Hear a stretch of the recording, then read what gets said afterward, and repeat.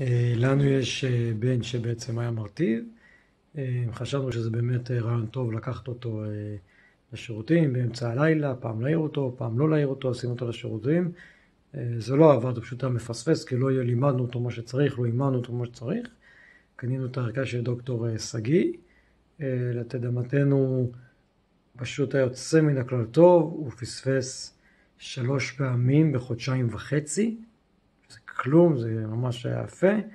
כבר גמרו לחלוטין, הוא בחודש האחרון בכלל לא פספס אפילו פעם אחת. הוא ממש למד להתעורר, ללכת לשירותים, לעשות פיפי ולחזור לישון. מדהים. כבר לא צריך אה, להתחיל לכבס בגדים, ולא צריך אה, להתחיל להיכנס לסרטים, וכל פעם לתזמן את זה, לקחת אותו לפיפי, בדיוק שעתיים אחרי שהוא ישן, מדהים. ותוך כדי הקורס באמת אה, תרגלנו כל מיני שיטות, מינינו את הטבלת מעקב, השתמשנו בפפימון, וזה ממש מדהים, אני ממש ממליץ על זה.